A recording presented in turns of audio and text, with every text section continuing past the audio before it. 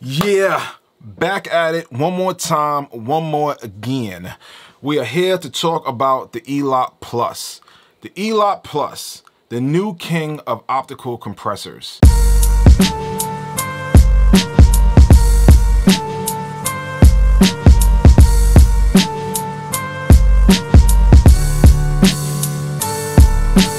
So this is how it goes, yo. I have been using optical compressors since my career started. First one I ever got was like a LA2A, uh, CL1Bs. All the records I've had, I've used optical compressors. Now, when it comes to the ELOP Plus, it's a totally different monster.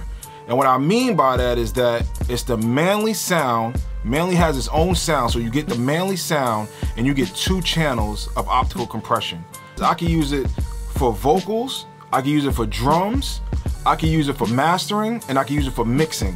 That is the big gigantic difference between the ELOP Plus and the others that I mentioned. That's what I love about it. You get so much for the value and it's high quality. For instance, I'll give you an example. For me on vocals, I would use the Michael James style. I will use the first channel as my limiter and then the second channel is my compressor. So the first channel is taking off all the peaks on my vocals. And then the second channel is just smoothing everything out. And it's only a two rack unit compared to the others.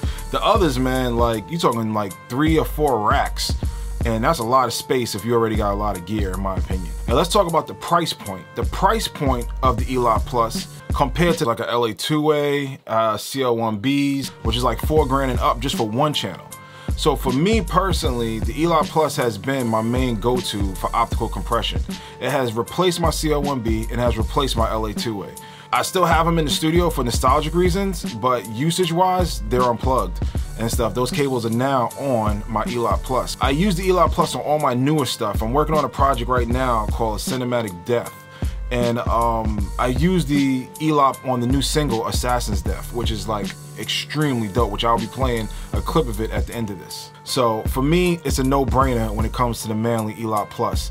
I get way more for my value. It sounds beautiful on my records. It sounds really good on my records. It keeps the integrity of the vocal, the integrity of the uh, drums, and the integrity of the mix without destroying it, muddying it, or nothing. So with that being said, I go by the name DJ Bless. I hope this helped you. I'm out.